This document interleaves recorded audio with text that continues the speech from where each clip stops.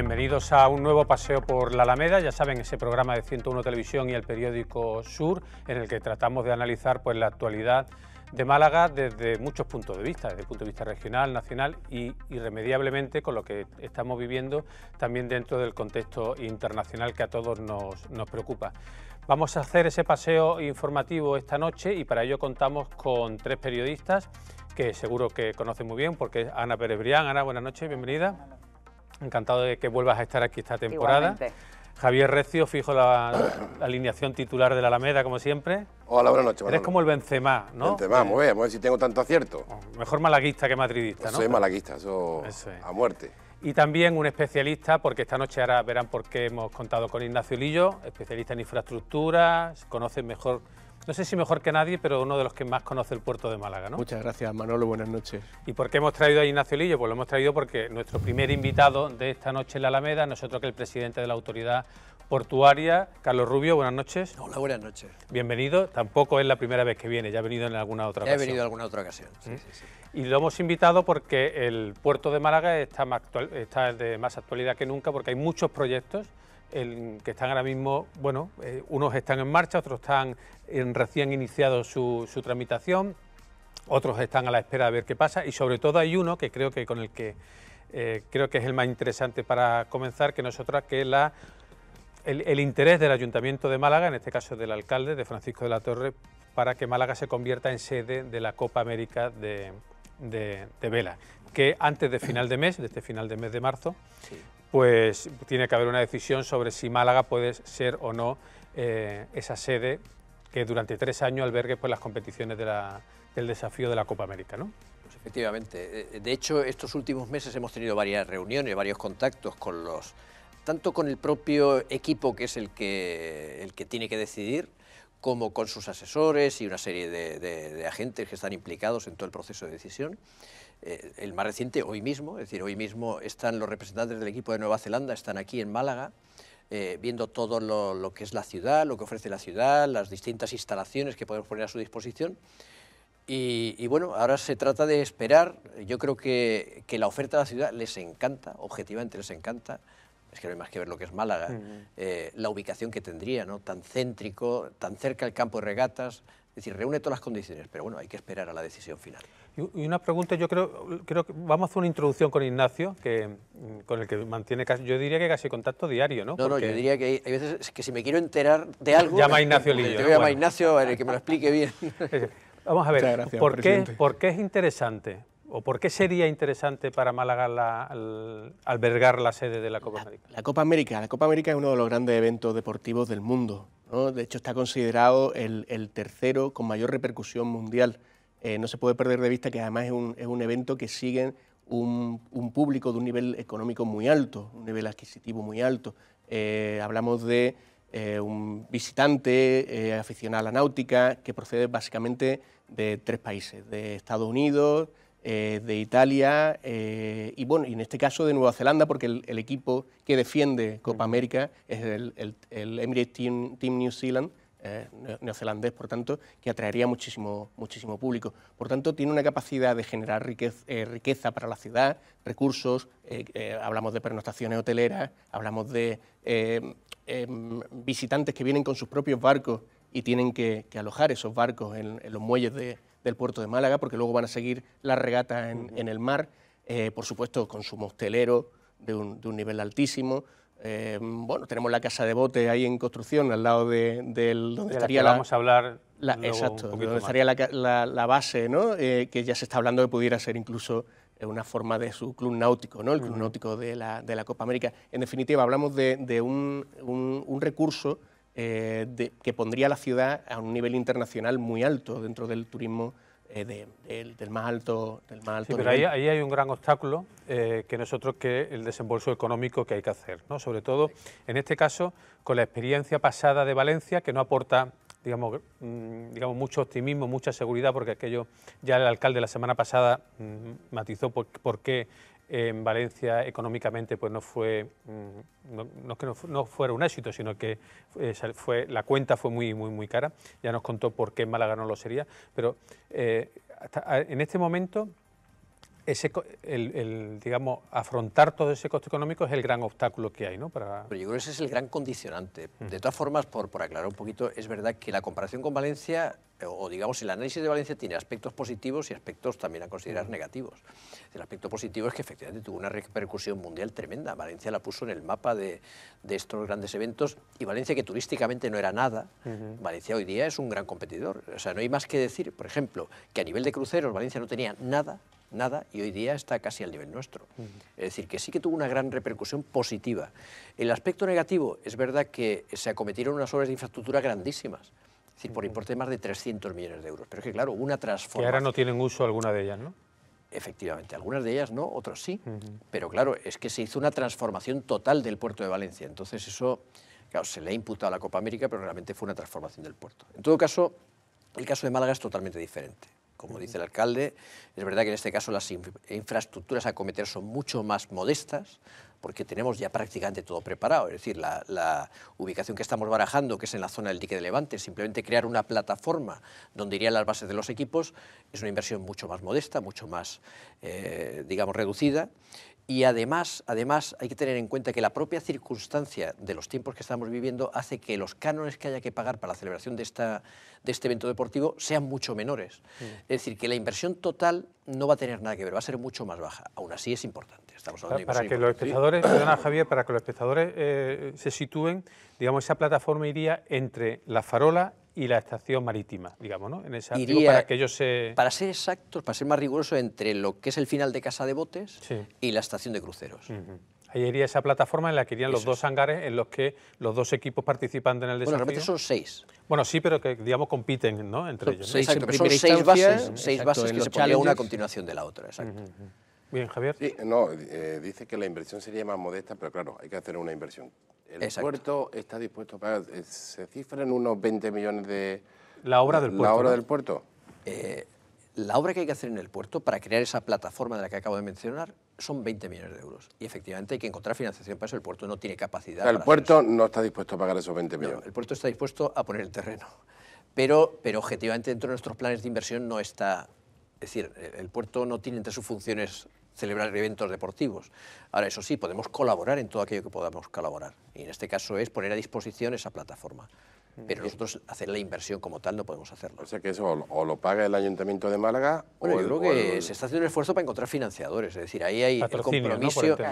Hay eh, financiación pública por un lado y financiación privada por otro.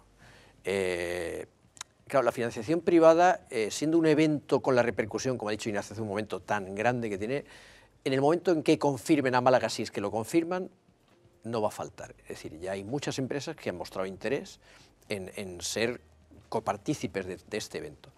Eh, con lo cual, al final, el balance probablemente lleve a que la inversión pública sea relativamente reducida. Pero en una primera fase, en una primera fase hay que comprometerse, hay que garantizarle al equipo que eso va a estar hecho, que tenemos la capacidad de celebrarlo, que tenemos la capacidad de organizarlo. Entonces, esa es la fase en la que estamos ahora. Sí, a mí me gustaría, por mm, hacer un poco de abogado del diablo, pienso que la Copa América es una buena, es una buena idea y creo que va a ser positiva para Málaga, pero me surgen eh, un par de dudas, sobre todo con lo que decía mi compañero Ignacio Lillo del, perfil del, turista, del visitante, bueno, que viene y que, y que luego se va y que quizás vamos a tener que hacer una infraestructura, una inversión que, que, quizás sí se rentabilice, pero que, no va a ser algo estable. Y después, hablando con los compañeros también de Valencia, Sí que es cierto que Valencia es, diferente porque toda esa infraestructura del puerto no estaba hecha, pero también se, acaba de comentar un poco de pasada. Eh, luego eso eh, no ha tenido una ocupación posterior más allá que la incubadora de, empresas de Paco Roy, de Mercadona. Entonces, ¿hasta qué punto podemos arriesgarnos a hacer esa inversión inicial de 20 millones para la plataforma, más todo lo que todo lo que es necesario, que eso amplía la cuenta muchísimo para albergar un evento que, bueno, que al final tiene un inicio y un fin.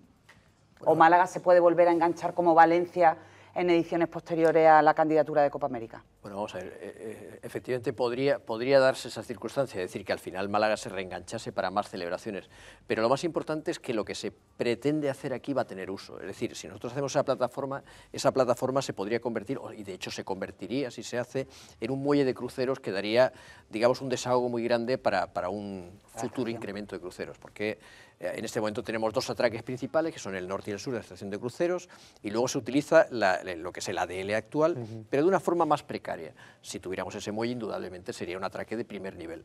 Con lo cual, esa inversión no es una inversión solo para la Copa América, sino que es una inversión que se rentabiliza en el tiempo, porque es una, una, mejora que queda en el puerto, una mejora que queda en la ciudad. En cuanto a las bases que se hacen por parte de los equipos, son todas desmontables, es decir, aquí no vamos a tener, como se puede dar en Valencia, eh, eh, el hecho de que haya edificios que han tardado muchísimo en encontrarles uso. Nosotros hemos demandado desde el principio que lo que se haga, salvo la del equipo principal, pero la, del equipo principal que sería el Team New Zealand, en su caso se utilizaría como estación marítima también por parte del puerto, el resto tienen que ser desmontables. Pero conociendo, al alcalde, si usted dice que después eh, esa infraestructura la va a utilizar el puerto, le puede decir, pues págalo usted. Claro, no, de hecho es lo que dice. de hecho es lo que dice. Entonces... hemos dicho que nosotros en nuestro, digamos, en nuestras prioridades de inversión no podemos meter esa porque, como, como ya hemos explicado muchas veces, en este momento tenemos una serie, digamos, eh, una senda inversora para los próximos años eh, en eh, actuaciones que son absolutamente prioritarias para seguir manteniendo la competitividad. ¿Cuál es la senda inversora del puerto en los próximos años? Vamos a ver, para nosotros lo prioritario, desde el punto de vista, nosotros tenemos, digamos, dos ámbitos que todo el mundo conoce muy bien, ¿no? que es un ámbito más portuario ciudadano, turístico, y por otro lado un ámbito más eh, puramente mercantil, lo que es la función portuaria mercantil del puerto. En este que es eh, segundo, que es donde tenemos que garantizar el futuro, porque yo creo que el puerto de Málaga no puede perder nunca la esencia mercantil que siempre tuvo, es donde tenemos ahí una, una previsión para hacer una gran inversión de un nuevo muelle 8, lo hemos dicho, con una gran plataforma eh, una superficie adosada al muelle 8, que sería donde está actualmente el muelle pesquero, se crearía un muelle de 300 metros por delante, prolongando el 9, que es la para que nos entendamos el de los contenedores, lo cual nos permitiría, en primer lugar, eh, poder trabajar con dos grandes portacontenedores simultáneamente. ahora mismo solo... ahora mismo podríamos con uno y uno más pequeño. Con esa prolongación podríamos trabajar con dos grandes, que eso ya es, eh, da unas capacidades muy grandes. Al mismo tiempo, con ese nuevo muelle 8, con unos calados ya más importantes, podríamos trabajar en Bulcarries, por ejemplo, todo lo que son graneles agroalimentarios, que Málaga está creciendo mucho y tiene mucha potencia en ese ámbito. Podríamos trabajar con dos barcos simultáneamente también, el muelle 7 y el nuevo muelle 8. Es decir, que ganamos mucha operatividad con esa obra y, por lo tanto, para nosotros es prioritario. Paralelamente a esta inversión en el muelle 8, claro, hay que hacer otras cosas, porque el muelle pesquero está ahí, hay que trasladarlo. ¿Qué hacemos? Llevamos a, la zona del Guadalmedina, llevamos unas nuevas dependencias con una nueva lonja, más pequeñita, más ajustada a la flota de Málaga, que es muy chica, eh, unos, unos muelles de atraque y, además tenemos que hacer un nuevo puente sobre el Guadalmedina para dar acceso a toda esa nueva plataforma. Es eso serían las, las, inversiones en el ámbito mercantil. Luego, además, tenemos pues, que si lo que es el proyecto Puerto Verde, que lo seguimos avanzando, eh, los, puertos, los proyectos que hemos sacado a licitación, como es la Marina de San Andrés, o Megayates, que está a punto de culminarse, o Casa de Botes, que se está en este momento trabajando. ¿Y cuál es la inversión, el presupuesto para esa serie de, obras, por hacer un cálculo aproximado o una comparativa con lo que se necesitaría para Copa América? Pues mira, eh, en esto hemos tenido que hacer un recálculo completo. Sabemos que vivimos unos momentos complicados y el coste de las materias primas nos está afectando mucho. Nos está afectando tanto que ha habido que hacer un recálculo completo de nuestro plan de inversiones. Y, por ejemplo, una inversión que inicialmente, por ejemplo, el Muelle 8, teníamos eh, una previsión inicial de estar en torno a 20 millones de euros, se nos, se nos va, como consecuencia del coste del acero y del hormigón, se nos va por encima de los 30. Estamos hablando de subidas de más del 30 a nivel, a nivel de todo el sistema público español, no hablo solo de puertos, sino carreteras, puertos, aeropuertos, es decir, todo lo, que es el ámbito de lo que, de lo que es el Ministerio de Transportes, por ejemplo, los, eh, digamos, revisiones de presupuesto que están haciendo están en torno al 40%, que es una barbaridad. Eh, como consecuencia del coste de la energía, porque claro, para fabricar hormigón hace falta energía, para fabricar acero hace falta energía, y el coste de la energía, pues desgraciadamente está ahora mismo disparado. ¿Y, todo el problema de la invasión de, Ucrania está afectando al puerto de alguna forma o todavía no? Bueno, sobre todo por la importación a lo mejor de cereal. O Nosotros hemos recibido tradicionalmente, de, tanto de Ucrania como de Rusia, más de Ucrania, eh, eh, granel agroalimentario. cereal sobre todo, ¿no? alimentación para... Fundamentalmente cereal, girasol, hemos recibido maíz. Eh, es verdad que no es el proveedor más importante que recibimos. para que nos hagamos una idea, sobre un total de aproximadamente un millón de toneladas, el año pasado recibiríamos algo más de 100.000 toneladas de allí. Es decir, que de alguna manera nos afecta, pero no es, no es una afección. Pero bueno, indirectamente nos va a afectar, porque esta guerra está provocando una subida adicional de los costes de la energía, va a provocar una subida adicional de los costes de los fletes marítimos y por lo tanto indirectamente claro que nos va a afectar. Estoy viendo en la imagen los containers, que tengo entendido que han subido mucho, ¿no? Coger un container. ¿Le está afectando en esa manera? ¿Vienen menos containers? Eh, ¿Los ingresos suben eh, para el puerto por el hecho que sean más caros o no tiene nada que ver? No, no tiene nada que ver. Eh, el, el, transporte marítimo ha subido muchísimo, o sea, ha subido una barbaridad, pero realmente nosotros el año pasado tuvimos un crecimiento espectacular en cuanto a, al, al, tráfico de contenedores. Eh, esto al final depende mucho de las decisiones de las grandes compañías navieras. En nuestro caso concreto, pues una compañía que es ahora mismo la más grande del mundo, que es MSC, apostó por Málaga. Ellos no tenían una base en la zona del estrecho y bueno, estamos trabajando para intentar ser su base en la, zona del estrecho. Ahora mismo esto nos ha provocado un incremento, como digo, pues, pues casi del 200 y pico por cien en cuanto al tráfico de contenedores, pero si finalmente nos consolidamos como base de MSC en el estrecho, pues vamos a crecer incluso más. El puerto de San Andrés, presidente, ¿cómo, cómo va? Creo que están a la espera los concesionarios ¿no? de, de, los papeles. Bueno, realmente, realmente a partir de ahora nosotros ya hemos adjudicado, como sabéis, y ahora lo que procede es darles la concesión. Para ello ellos tienen que aceptar el condicionado que se les va a mandar por parte del puerto mm, y tienen que trabajar ya en el proyecto de detalle. Ten en cuenta que lo que han presentado hasta ahora es un proyecto básico de lo que va a ser el puerto. La verdad que es muy bonito, todo hay que decirlo, el proyecto que han hecho. Y entonces, eh, ahora cuando hagan el proyecto de detalle ya seguiremos avanzando, ya con la concesión, hay, que trabajar luego en las licencias, tanto las medioambientales como las urbanísticas, en fin, queda un... Pues largo lo fía, ¿eh? Si ya empiezan las licencias, informe medioambiental, de Largo me lo fía, efectivamente. ¿Qué, horizonte temporal para que el puerto sea una realidad? El puerto de la plataforma de San Andrés. Bueno, vamos a ver, eh, vamos a ser optimistas. Con la administración es difícil ser optimista. ¿eh? vamos, a vamos a hacer un esfuerzo, vamos a hacer un esfuerzo. Y siendo muy optimistas, eh, todo lo que es la tramitación medioambiental, que pensamos, pensamos que no, es decir, que es la, ordinaria, es decir, no, no tenemos que ir a una reforzada, eh, y luego contando con lo que el ayuntamiento tarde en tramitar las licencias, pues podríamos estar hablando a lo mejor de ocho meses, nueve meses para empezar a construir, para empezar a construir.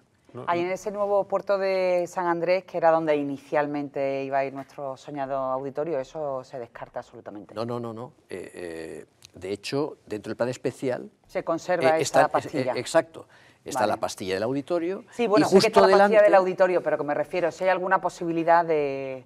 Real hoy de que se haga, vamos. Hoy en día de recuperar ese proyecto de, la época de Vaca Gordas. A ver, vamos a ver, eh, es verdad que es un esfuerzo financiero muy importante y si estamos con la Copa América, estamos con la Expo y estamos... Al final lógicamente eh, la financiación para todos eh, es complicado. Pues antes ha mencionado a MSC, que es una de las grandes compañías, ¿no? pero yo me, desplazo de los contenedores a los cruceros, ¿no? y le quería plantear al presidente de la autoridad portuaria un debate ciudadano, ¿no? es decir, el, crucero, si es puerto base, que por entender no son aquellos cruceros que parten de la ciudad, que parten o que, o que, sea, que inician o que terminan su, su travesía en, en, el puerto, y luego están las escalas, que muchos pensamos, incluido, en este caso incluido yo, que aportan mucho volumen de turista, que, deja poco en la ciudad, y que está el debate de si hay que profundizar en traer mucho más cruceristas, que desde mi punto de vista generan más ruido, más volumen y más inconvenientes que otra cosa, y que usted como, digamos, como presidente del puerto, eh, imagino que defenderá ¿no? la llegada de, de cruceros. Pero en ese debate, ¿por dónde se decanta? Bueno, vamos a ver lo primero que hay que decir es que Málaga está todavía lejos de la saturación. Es decir, eh, cuando se habla, por ejemplo, de... Se no ha olvidado, ¿eh? pero antes de la pandemia ya había momentos eh, de, cuatro o cinco cruceros. Sí, sí, pero, es muy puntual. Es decir, no es comparable a situaciones como Barcelona, como Venecia. Bueno, Venecia es que tiene un gran problema. Que, verdaderamente tiene un problema, incluso Palma, que tiene un problema que han tenido que limitar. Nosotros estamos muy lejos de eso, porque nosotros realmente tener cuatro o cinco cruceros simultáneamente es muy excepcional. Yo, diría desgraciadamente, me gustaría que, fuera más frecuente. Pero, pero sí que nosotros lo que estamos trabajando, sobre todo cada vez que vamos a una feria internacional, cada vez que negociamos con las compañías para ver, eh, incluso ofreciendo condiciones, lo que buscamos es que sea puerto base, es lo que más nos interesa. Y, lo, y, y debo decir que en lo que más éxito estamos teniendo es en atraer a compañías de lujo como puerto base. Y, esas compañías de lujo, eh, ¿qué es lo que trae? Un turista de más nivel adquisitivo y además menos numeroso, porque los barcos de lujo son de 500 pasajeros, 700 pasajeros. Uno de los grandes de turismo más masivo, digamos, son a lo mejor 3, 4 o 5 mil pasajeros. Más tripulación, que son también unos miles, ¿no? Más tripulación, que puede ser otros 1.500 o 2.000. Y sin embargo, estos son más pequeños. Y con esto sí que estamos teniendo éxito, es decir, que estamos consiguiendo que el crecimiento mayor de escalas en el puerto de Málaga sean de cruceros premium o cruceros de lujo, y, y lo que estamos tratando es que sean cuanto más base, mejor. Ya hemos tenido algunos éxitos, pero, pero bueno, queda un largo camino. ¿Cuántas compañías en Puerto Base tenemos, presidente, ahora mismo, Málaga? Bueno, en este momento tenemos de compañía MSC, va a hacer, va a hacer crucero base este verano. Que, hoy ha anunciado también que es posible que muchos cruceros del norte de Europa, por, las condiciones de bueno, conflicto... cabe esa posibilidad. Hay que pensar que San Petersburgo era una parada casi obligatoria en todos los cruceros del norte de Europa y eso ya no va a ser. Entonces, pues eh, indudablemente... A ver, la guerra no es buena para nadie y desde luego para el turismo no, no lo es pero indudablemente esto va a generar movimientos y a lo mejor en nuestros movimientos pues Málaga en concreto sale beneficiada. Pero bueno, eh, al margen de eso, simplemente con lo que hay programado, eh, es verdad que MSC va a hacer una cantidad importante de bases aquí en Málaga. Tenemos otra compañía británica que se llama Marella. Y luego de compañías de lujo tenemos alguna, Azamara, tenemos, en este momento no recuerdo más, vamos, eh, Ocean, en fin, varias, varias más pequeñas que sí que hacen base. Pero como digo, son movimientos mucho más pequeños de pasajeros, 200, 300 pasajeros. y yo tenía que saber ¿qué, qué cobra el puerto por, por cada crucero. ¿Eso va por número de pasajeros, va por, por el cabotaje? Bueno, el puerto tiene, digamos, sus ingresos son, depende, en varios conceptos. El, puerto cobra tasas. Hay que pensar que el puerto lo que cobra son tributos, son tasas, y las tasas vienen determinadas por ley. Es decir, eh, y en este caso concreto, pues un barco paga una tasa por el propio buque, es decir, el propio buque, dependiendo del tamaño, tiene más eslora, más para atracar, paga una tasa. Y luego hay una tasa al pasaje, es decir, por cada pasajero se paga una cantidad al puerto. Entonces, en, cuanto a cruceros, esos son los dos ingresos principales. ¿Nos podría concretar un poco aproximadamente cuánto...? No sé decirte, porque es que depende, claro... Eh. Cada pasajero dos euros, eso puede decir. Bueno, cada, pasajero dos euros. Mira, imagínate que si vienen 5.000... Uno de 5.000... Pues, pues ya Exacto, la... la tasa del buque pues era otro tanto, pues... En, otra, en otros tiempos, la primera pregunta que le habríamos hecho es por la torre del puerto. Exactamente. Ahora ya, bueno, está bien, porque eso significa que hay más cosas. Eso significa que hay más cosas y que y la torre del puerto ya no tiene tanta... Pero antes de entrar en la torre del puerto, sí, una una polémica que se ha suscitado sobre las mejoras que hay que hacer en el dique de Levante. Ya sabemos que la utilización de un determinado eh, tipo de... Yo no soy técnico, usted me corrige si, si, me equivoco. La utilización en su época, hace ya 20, 25 años, de un tipo de cemento que ahora está dando una serie de, problemas, ha originado una serie de imperfecciones en obras parecidas al dique Levante, no solo en Málaga, sino en muchos otros recintos portuarios. ahora se van a cometer esas obras. Entonces, ¿cuál es la situación actual de esas actuaciones? Bueno, ahí efectivamente, como dices, en su momento, hace veintipico años, se propuso una solución constructiva para lo que es el espaldón mm. del dique Levante. Eh, entonces, en ese momento era muy innovadora. Es verdad que es más bonita, estéticamente es más bonita que el clásico espaldón de masa, pero a la larga se ha demostrado que no, no, funciona bien. No funciona bien ni aquí, ni ha funcionado bien en, en, eh, Las Palmas, ni ha funcionado bien en Cartagena, que son los sitios donde en España se ha utilizado esta tecnología. Entonces, como no ha funcionado bien, eh, hemos tenido que hacer un estudio, primero para ver cuál es el estado estructural, primero para ver si corremos un riesgo a corto plazo o no. Ya de paso hemos hecho un estudio de los cajones, es decir, la parte sumergida. Entonces, bueno, de esos estudios lo que hemos deducido es que los cajones están perfectamente, eso era lo, que más nos preocupaba, porque esa es la obra que, digamos, tiene más, más envergadura y la que podría crear verdaderos riesgos. Eso está muy bien, afortunadamente está muy bien. Y en cuanto al espaldón, bueno, tiene resistencia, pero indudablemente hay que acometer eh, algún tipo de reparación. Entonces, vamos a empezar, se ha estudiado mucho, ¿eh? porque esto hemos estudiado con, con el CEDEX, hemos estudiado con, eh, con, consultorías privadas, con ingenierías privadas, hemos hecho muchos informes para ver cuál era la solución idónea. Entonces, vamos a empezar con tres cajones, primero con tres piezas del, del, espaldón, concretamente las que están, coinciden con el Club Mediterráneo, las primeras que vamos a trabajar sobre ellas y, vamos a ver qué tal funciona la solución. Parece que en principio lo que nos han dado SEGIPSA, que es la, eh, digamos, la ingeniería del Ministerio de Transportes, es una solución que debe funcionar bastante bien. Eliminamos las armaduras de acero, con lo cual ya no hay esa corrosión, que es, ha sido el problema principal. Y, estéticamente vamos a intentar mantener lo más posible. O sea, que va a cambiar la fisonomía también, ¿no? Va a cambiar algo, porque claro, esos arbotantes tan estéticos que tiene ahora mismo van a desaparecer, porque eso hay que cubrirlo de hormigón, hay que hacer un, hormigón en masa ahí. Pero bueno, se va a intentar mantener la curva, por lo menos, porque yo creo que eso le da una cierta... un sello. Un sello, ¿verdad? Sí, sí. Mm. Y se va a intentar mantener. Bueno, eso eh, eh, para lo más utilizado para hacerse foto en Instagram, es decir, ese, tipo de... Pero bueno, que me imagino que ya hay una solución. Antes de terminar ya, haznos una introducción, Ignacio, sobre la situación actual de la Torre del Puerto. ¿no? Bueno, pues la gran novedad de la Torre del Puerto, ¿verdad, presidente? Es que se ha conocido, dimos a conocer en Sur el, lunes, que ha llegado a un acuerdo eh, la, concesionaria del edificio, el Fondo Catarí Al-Alfia, con Esperia, con la cadena hotelera Esperia para, para, la explotación. Todavía no sabemos bajo qué marca, se está buscando una marca de, de prestigio, una marca de mucho nivel, de las que hay varias en el, en el mundo, para las, grandes marcas de cinco estrellas gran lujo.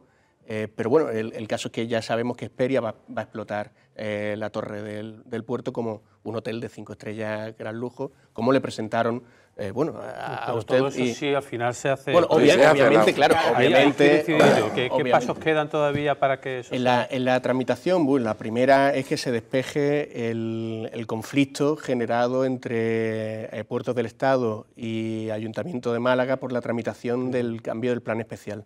El cambio del plan especial está ahora mismo enquistado porque eh, Puerto del Estado dice que se tenía que haber tramitado de una determinada manera y el Ayuntamiento de Málaga lo ha tramitado de otra. Vale, entonces, cuando se tramite ese plan especial... Exacto, cuando, cambie, cuando se, llegue a un acuerdo y ese plan especial salga adelante y se, se, apruebe definitivamente en el Pleno del Ayuntamiento de Málaga, pasará a Puerto del Estado, que lo tendrá que tramitar ante el Consejo de Ministros. Bien, entonces, eh, con esa introducción, de, de 0 a 10, usted... Eh, eh, ¿qué, digamos, ¿qué posibilidades de, que se culmine el proyecto, digamos, toda la tramitación? Antes de jubilarnos. De, que sea una realidad. De que sea una realidad. Que sea una realidad. Eh, hombre, yo, yo, quiero pensar que 10, es decir, que, que, tardará más o menos, pero que será una realidad. Es verdad, como dice Ignacio, ahora mismo está en un problema, es que es curioso, porque sobre el fondo yo creo que ya hemos despejado casi todas las incógnitas, sobre el fondo creo que nos hemos puesto de acuerdo en, en prácticamente todo y ahora mismo es un problema puramente de metodología. Es decir, la, disputa, por así decir, está en que desde el ayuntamiento entienden que ellos pueden hacer la aprobación definitiva de la modificación del plan especial, pero no publicarlo a la espera de que el Consejo de Ministros autorice, y en el Gobierno, o en este caso Puertos del Estado, pero realmente es el Ministerio, esto no es una postura de Puertos del Estado, es una postura del Ministerio, entienden que si no hay una publicación previa, la norma no está en vigor, y si la norma no está en vigor, quiere decir que el plan no estaría aprobado y por lo tanto no se puede presentar al Consejo de Ministros nada. Hombre, yo lo que espero es que, es que al final eh, impere la sensatez y si sobre el fondo estamos de acuerdo, sobre el tema procedimental nos pongamos también de acuerdo. Sí, pero así ya llevamos, llevamos meses, ¿no? Un, año, un año llevamos de, trámite. bueno, eh, eh, en este, digamos, enquistamiento final, no tanto, pero bueno, sí, sí, sí. se el alcalde dijo que en 15 días lo iba a solucionar y han pasado muchos 15 días. Muchos 15 días. Sí, sí, también se nos ha olvidado que también está el expediente del Ministerio de Cultura, ¿no? Con lo cual eso enreda también. Vamos a ver. En lo del Ministerio de Cultura eh, hay dos cuestiones. Una, el, expediente expolio, que ya, digo, eso se va a archivar porque hemos estado hablando con el Ministerio de Cultura. Eh, no creo que haya ningún problema, creo que hay una buena coordinación. Los técnicos de cultura han visto claramente, eh, digamos, el expediente y sinceramente eso no, no le veo un problema. Y luego queda el tema de la declaración de Vic de la farola. Y esto tampoco debería ser un problema. Sí, de hecho, nosotros hemos defendido que la farola sea Vic. Eh, no, hemos defendido que la autoridad portuaria o la Junta de Obras del Puerto, o quien estuviera en cada momento, ha mantenido la farola a la perfección durante 200 años. Ahí está. Entonces eso no debe ser un problema. Es verdad que ahora en el expediente definitivo de Vic hay que delimitar muy bien el perímetro de protección de tal forma que no afecte. Pero de verdad entendemos que ni una cosa ni la otra van a afectar al proyecto de la torre. ¿Qué, piensa usted sobre esa, eh, contraposición sobre eh, Torre del Puerto Farola, ¿no? como si la, ejecución de, la torre del, hotel, Torre del, Puerto, significase la desaparición de la farola? Pero esto es, a ver, esto es un artificio de aquellos que están en contra de la construcción del hotel, porque no tiene nada que ver. Es decir, eh, es que son dos hitos diferentes que no se afectan el uno al otro, que desde mi punto de vista se complementan, no tienen nada que ver. Pero, pero como la farola es un símbolo muy querido por los malagueños y es muy visual... Y lo bueno, muy querido ahora, ¿eh? porque hace, hace unos años iba a ser un restaurante. Exacto. ¿no? Hace, eh, en la época de Paulino pues Plata como presidente de la autoridad pues, portuaria. Pues, lo hemos convertido en algo muy querido, eh, por la razón que sea. Entonces, bueno, al identificar es, es, es más, el utilizar como, como, lema defendamos nuestra farola, defendamos nuestro horizonte y tal, es que parece que, que, que, la construcción del, del, hotel va a significar el, el, el, derruir la farola. Es que es una falsedad absoluta. Yo creo que es un, bueno, de hecho, debate estamos terminando, pero eh, de hecho ya estaba previsto que la farola dejase de funcionar, ¿no? como faro, Correcto. Eh, como para la ayuda a la navegación, y hubiera una señal ¿no? al final del dique de Levante, ¿no? Eso incluso antes de... Sí, sí, eso efectivamente, eso tiene que ser porque como, bueno, como todo el mundo ha visto, el puerto ha crecido mar adentro. Eh, en este momento, por ejemplo, si hay un gran crucero o un gran portacontenedores en los muelles exteriores, la farola no se ve. Es decir, la función principal de un faro es servir de ayuda a la navegación. Es decir, que cualquier barco que vaya el horizonte, al ver la luz del faro de Málaga, ya sabe dónde está.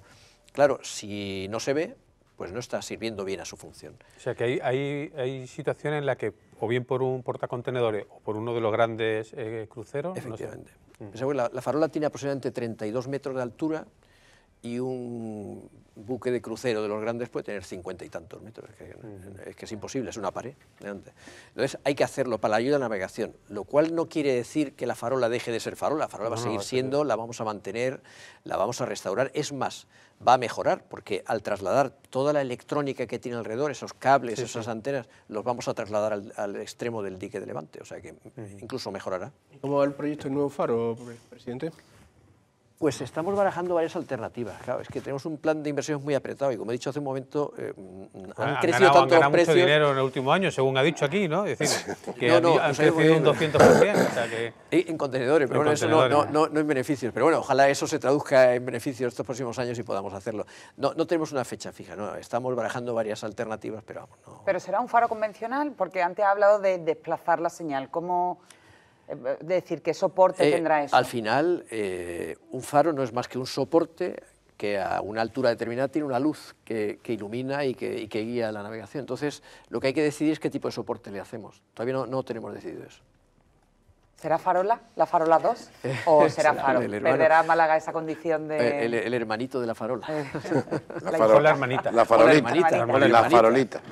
Bien, ¿algún apunte más, Ignacio, tú que, para terminar? Bueno, presidente, mm, simplemente pedirle una, un, balance ¿no? de qué, va a ser el puerto de, Málaga con todos estos proyectos que tenemos. Realmente, mm, ¿qué, futuro tenemos en el puerto de Málaga en, un horizonte. Veremos veleros de la Copa América, veremos una gran torre, veremos ¿qué veremos? Bueno, yo creo que lo que vamos a ver es una gran transformación. Ya, independientemente de Copa América o no Copa América, vamos a ver una gran transformación, pues la estamos viendo ya. O sea, esa transformación está en marcha ya. Eh, en cosas tan eh, evidentes como es el puerto de superyates, de megayates, el puerto de San Andrés en el otro lado, apertura de zonas a la ciudad, pero incluso en el tema, por ejemplo, del, proyecto de iniciativa Puerto Verde, estamos viendo cómo estamos eh, sembrando de árboles por todas las partes, y eso cambia la fisonomía, porque al final era todo hormigón en el centro de la ciudad, estamos intentando darle, digamos, un, un aspecto más amable vamos a ver una gran transformación. Cuando hagamos el nuevo Muelle 8 vamos a ver una grandísima transformación. Yo creo que eso es lo que nos va a garantizar el futuro como puerto comercial para Málaga. Yo creo que esto es no hemos hablado de, de Molleredia, ¿no? O sea, del proyecto comercial es que es un gran proyecto que se va un poco mm, más adelante, pero que estamos trabajando en él, porque de hecho ya estamos construyendo un nuevo cuartel para la Guardia Civil, para que Molleredia, para que nos entendamos, para que salgan las oficinas de Molleredia puedan salir adelante, hay que despejar primero el terreno. Y para eso hay que trasladar el cuartel de la Parra de la Guardia Civil, que es lo que estamos haciendo ya, esto tardaremos unos meses, y hay que trasladar las dependencias de la agencia tributaria, que tiene un almacén y un pequeño edificio. En eso estamos también trabajando, estamos trabajando en el proyecto en este momento, de acuerdo con ellos, las exigencias son muchas, porque cuando tú le pides a un organismo que se traslade, dices, sí, sí, pero a mí me lo pones con suelo técnico, materiales de primera calidad, en, eso estamos ahora mismo. Pero bueno, vamos a hacer un buen edificio. ¿Y eso también iría en el puerto? Sí, sí, sí, al lado de la Puerta de Colón, al otro lado. Pues muy bien, pues muchísimas, siempre, bueno, siempre que viene aquí a la Alameda trae muchas noticias y en este caso no ha sido ha sido así, ¿no? Esperemos que todos los proyectos vayan, vayan avanzando y que la próxima vez por lo menos, o, esté la Copa América ya adjudicada o la, plataforma San Andrés. O, la torre. O la- bueno, la torre. Esperemos que, que esta vez acierte, porque recuerdo cuando vino la última vez que dijo que este año empezarían la obra del, de la torre del puerto. Y entonces era, era, era demasiado Ah, optimista. Ahora no pongo fecha. Bueno, ha dicho ocho, ocho meses para la plataforma San por Andrés. eso que que hemos- yo No, creo que es no, muy para- optimista. Para ¿eh? lo de San Andrés, para empezar la obra. Para empezar la obra. para empezar la obra. vale, vale, lo dejamos ahí, ocho meses. Bueno, no sé yo si eso es mucho Lo optimismo. apuntamos, Bueno, lo apuntamos. Lo apuntamos y ya se lo recordaremos. Muchísimas gracias por, gracias por estar aquí, por acompañarnos en la Alameda. A ustedes les pedimos que sigan acompañándonos. Vamos a hacer una pequeña pausa para recibir a nuestro siguiente invitado y enseguida, estamos con ustedes. Estamos paseando por la actualidad en este camino por la, por la Alameda con los periodistas Ana Pérez Durián, Javier Recio, Ignacio Lillo. Y si hemos estado hablando con el presidente de la autoridad portuaria en, en esta Alameda, nos vamos a trasladar de Alameda y vamos a ir a, a Estepona porque eh, nuestro próximo invitado, que lo tenemos ya aquí, nosotros que el alcalde de Estepona, José María García Urbano, bienvenido. Muchas gracias. Bienvenido a la Alameda, que siempre eh, nos gusta tenerlo por aquí y además siempre pasamos un buen rato. Y además siempre da noticias. El placer es recíproco. ¿eh? y además siempre nos da buenas buenas noticias. Y la primera pregunta, antes de entrar en materia, que hay muchas cosas de, de la que hablar, me ha llamado la atención en la última semana eso de Estepona, la ciudad de la- del millón de flores, ¿no? Eso del millón de flores, ¿qué, qué es? Bueno, no es un eslogan sin más, responde a una realidad. Estepona ha vivido en los últimos 10 años un cambio importante, una renovación en todos los sentidos, en el sentido administrativo, en el sentido social, cultural, en el deportivo, pero también en infraestructura y en la imagen visual de la ciudad. Hemos diseñado un concepto de ciudad, un modelo de ciudad. Ha creado casi de- un centro histórico, casi, ¿no? un centro histórico recuperado estaba ahí, pero había que ponerlo en valor y sin duda ninguna el embellecimiento floral tiene un papel protagonista en Estepona. El millón de flores, lo comentaba antes, responde a una realidad. Eh, nos gusta adornar la ciudad de colores, de flores, de, de aromas, de árboles y eh, cada, cada mes, cada temporada tres, cuatro veces al año cambiamos Cada estación, ¿no? esta, cada imagino estación aproximadamente tenemos ya mucha experiencia, son cinco o seis años haciéndolo y es verdad que tenemos un millón de flores permanentemente en la ciudad, lo cual le da un aspecto que es una O sea, que, maravilla. que en Estepona hay un millón de, de macetas, por decirlo, o de flores, ¿no? no porque no todas eran macetas. Pues hay, hay bastante más de un millón, porque luego tenemos las macetas, los árboles y otro tipo de jardinería. Fíjate que en los últimos 10 años, entre los cambios que ha tenido la ciudad, ha sido duplicar el número de metros cuadrados de áreas verdes. En este momento Estepona tiene un millón también, una cifra muy aproximada a la de las flores, un millón de metros cuadrados de zonas verdes, lo cual es una cantidad importante para una población como la nuestra. Bueno, pues vamos a pasar de las flores, que es algo como muy amable, vamos a entrar ya de lleno, ¿no, Javier? La Eh, esquina, en en la- la en esquina. Pero hay que seguir amables. hay que- Sí, sí. Bueno, antes vamos a seguir por- en Estepona, porque llama la atención, usted, usted siempre tiene, bueno, la, la imagen de, de gestor, eh, mayoría absoluta, respaldo eh, mayoritario de, su, de sus vecinos y su- los ciudadanos de Estepona, y, y siempre eh, ha llamado la atención sobre, yo tengo una serie de, de compromisos, ¿no? y incluso los tiene en su despacho ¿no? y va tachando ¿no? los, los que va cumpliendo. ¿Qué nivel de cumplimiento tiene ahora mismo su, en, este- en esta legislatura? ¿no? Bueno, yo me he tomado muy, muy en serio siempre el- ese contrato que un candidato, un, un equipo electoral eh, contrae con los ciudadanos y con la gente que le vota. El programa electoral no es una enumeración de objetivos sin más, sino que es un verdadero contrato que yo he intentado cumplir siempre. Cumplí el 100% en el periodo del 2011 al 15, lo mismo hasta el 19, y en este 19-23 nos falta más de un año y de los 100 puntos, en este momento tenemos cumplido o terminando de cumplirse 90. 90, o sea que tiene ahí 10 que tiene que cumplir. ¿o cómo va Tenemos, tenemos un año, me queda el- el- aproximadamente el 30% del periodo de este mandato y solamente me queda el 10% por cumplir, o sea que A mí me bien. gustaría preguntarle si, eh, como hemos- estado hablando de la Torre del Puerto en Málaga, allí hay un proyecto parecido, de menores di- dimensiones, en el, en el mismo paseo marítimo ¿no? de, de Estepona. ¿Ha tenido allí con contestación como, a- como ocurre en Málaga o han tenido más, más suerte en ese sentido? Bueno, es un proyecto bastante diferente. En primer lugar, es un suelo urbano consolidado, es una parcela municipal en este momento porque fue adquirida por expropiación a una entidad bancaria. Estaba previsto hacer un hotel, en el plan general desde, el año, desde los años 90 estaba previsto y en este momento el ayuntamiento, al expropiar y convertirlo en equipamiento público, lo que está haciendo es una biblioteca en vertical que tiene una altura además muy semejante a de algún edificio que hay en la zona. Es decir, es un proyecto completamente diferente. Sí, pero es un proyecto que está también primera línea de playa, ¿no? Sí, sí, pero no, no me puede comparar un equipamiento público con un equipamiento privado y no me puede comparar una zona portuaria con un suelo urbano consolidado donde el plan general, con todos los informes de todos los, de, de todos los informes sectoriales, tiene la aprobación definitiva desde los años 90. Era un suelo que estaba previsto, que ha sido adquirido por el ayuntamiento y en el que estamos ejecutando ya ese proyecto, una biblioteca en vertical que va a ser bueno, una pero maravilla. En, en vertical la contestación principal de la Torre del Puerto no tiene nada que ver con lo administrativo, sino con lo estético.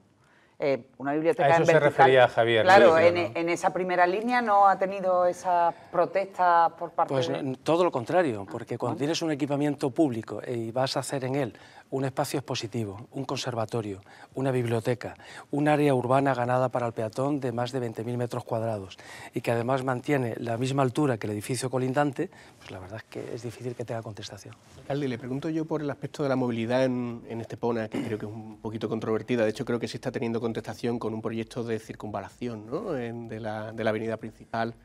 ¿Cómo está esa situación? Bueno, en Estepona vamos a hacer, y cuando digo vamos a hacer es que empieza la obra el lunes, o sea, no es un propósito a medio plazo, sino que es un objetivo que, que empieza enseguida. Es una obra que ya está contratada, licitada en su día, contratada, adjudicada y, como digo, empieza el lunes. Es algo similar a lo que en Málaga, por ejemplo, se viene diciendo, del el Paseo de los Curas, el Muelle de Heredia, de ganarlo para el peatón. Bueno, pues en Estepona eso ya lo vamos a hacer. Es decir, la antigua 340, que en el fondo no era más que una cicatriz que dividía la zona norte de la zo- zona, la zona sur de la ciudad y que esa cicatriz impedía conectar el mar con la ciudad y la ciudad con el mar, pues ahora la vamos a integrar. Vamos a hacer que la ciudad sea para los ciudadanos y vamos a convertir toda esa antigua 340 en un jardín. Puede, puede venir entrenado ya para Málaga, ¿no? Claro. Por el proyecto ese. Ha faltado, a ver, llevamos Lleva dos tres minutos, dos tres minutos minutos hablando y ya está aguantado. No, preguntado. pero yo no por nada, pero es, No, es el pero- alcalde de Estepona el que ha incluido ya de No, pero por calles de contestar, Málaga. Y, por contestar a, a don Ignacio Lillo, el tema de la movilidad está estudiado durante un año, hemos estado haciendo estudios de tráfico muy serios y por suerte para Estepona el tráfico tiene varias alternativas. Estepona tiene tres círculos, yo diría más bien semicírculos concéntricos, que mira, precisamente está saliendo un mapa de Estepona en la televisión, ¿no? que permiten que esa movilidad tenga tres recorridos alternativos. Además, cuando uno eh, crea un modelo de ciudad y está convencido que el modelo es exitoso, y la prueba es que en Estepona, en ese centro histórico, de no haber ninguno, en este momento hay terminándose o terminados 16 proyectos hoteleros. Cuando estás convencido de ese, de ese modelo exitoso, tienes que seguir adelante. Y esto no es más que la culminación de ese modelo que se empezó hace una década. ¿Van a seguir peatonalizando calles? Eh, Bueno, en ¿tienen este momento tiene Estepona ya 18 kilómetros de calles, que no es poco, 18 kilómetros de calle por los que puedes pasear sin que te molesten los coches, ruido de los motores, etcétera. O sea, una ciudad para el tamaño que es Estepona, poder andar durante un par de horas sin que te moleste el tráfico ni nada, la verdad que ya, es, ya se ha conseguido mucho. Ha hablado de 16 proyectos hoteleros. eh, digamos, Estepona siempre ha estado a la sombra, históricamente, no hablo durante sus mandatos, sino históricamente ha estado a la sombra de Marbella, San Pedro. ¿no? Eh, ¿Cuál es el modelo turístico que el alcalde quiere para Estepona, ¿no? teniendo en cuenta que está junto, digamos, entre Marbella, San Pedro y Sotogrande, ¿no? es decir, es un enclave. Bueno, yo me voy a permitir que, que- que matice la pregunta, porque Estepona siempre ha tenido identidad propia. Ha sido un municipio que está al oeste de la provincia, pero que ha tenido una identidad eh, de toda la vida, donde ha tenido un, un ambiente, un mundo y un sector pesquero alcalde, importante, yo- yo con- un sector sector agrícola, es- un sector es- agrícola es importante y, por tanto, una economía diversificada, diferente al modelo turístico tradicional que empezó en Torremolinos. Es verdad que ahora la economía que impera es el sector servicios y Estepona también ha evolucionado hacia ahí.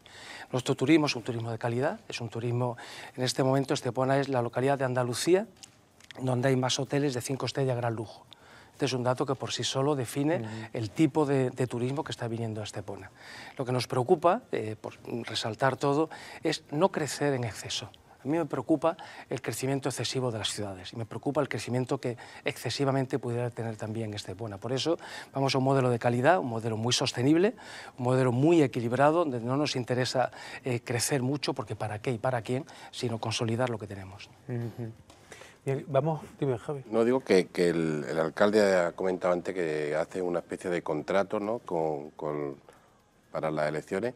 ¿Está preparando ya el próximo contrato para Estepona o, o eso se lo va a dejar a otro?